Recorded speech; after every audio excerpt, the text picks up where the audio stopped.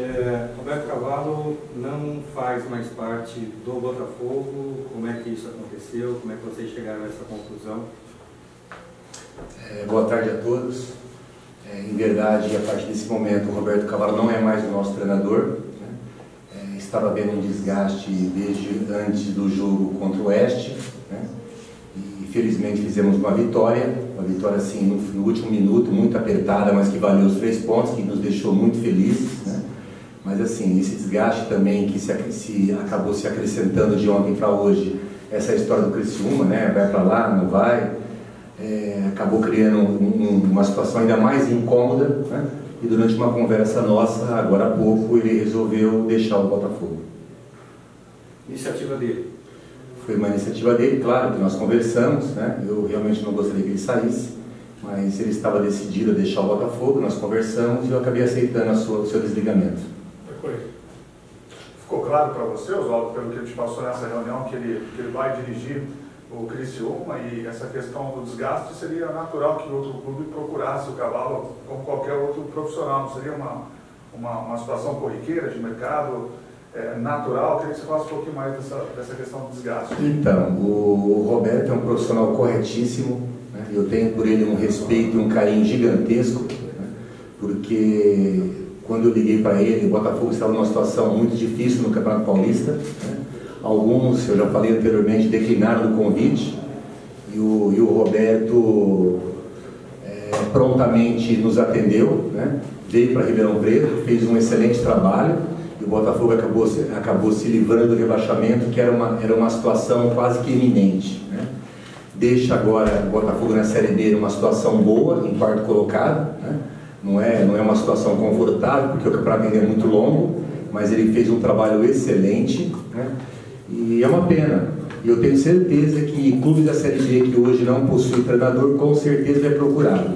Se ele vai para o Criciúma ou se não vai, aí eu não posso, eu não posso responder por ele. Né? Mas torço por ele, porque de novo ele deixa aqui um, um amigo e deixa as portas do Botafogo escancaradas para um futuro aí não muito, não muito distante.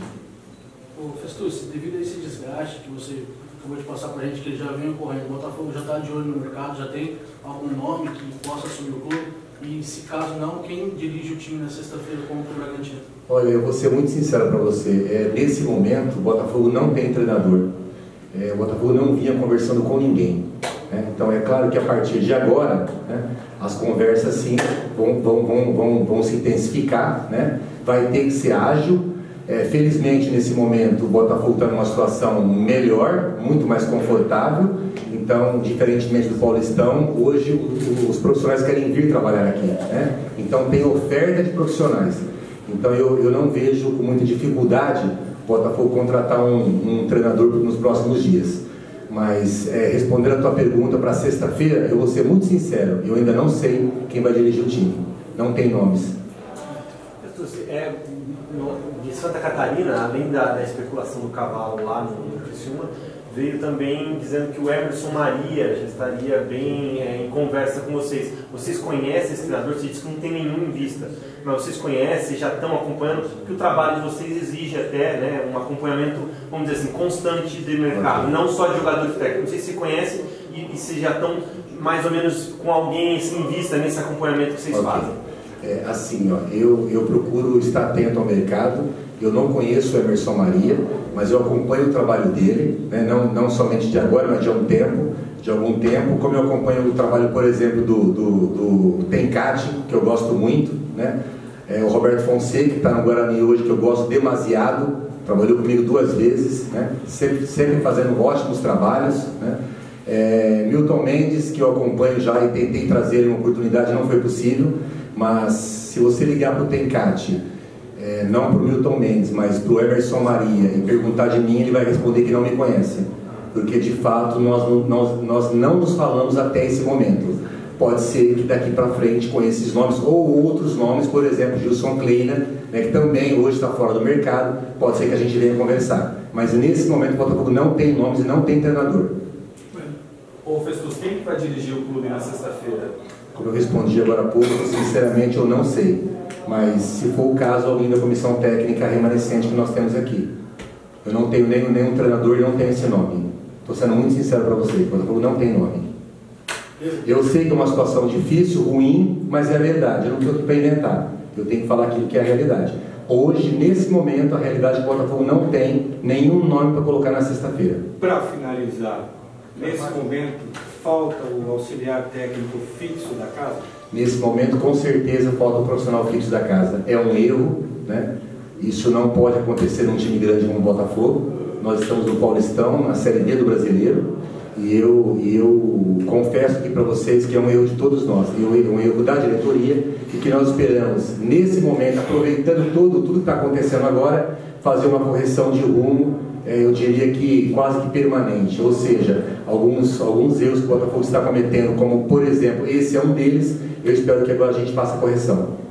Muito obrigado. Okay. Okay. Só para finalizar da minha parte, a gente falou sobre isso a semana passada bastante, você esclareceu.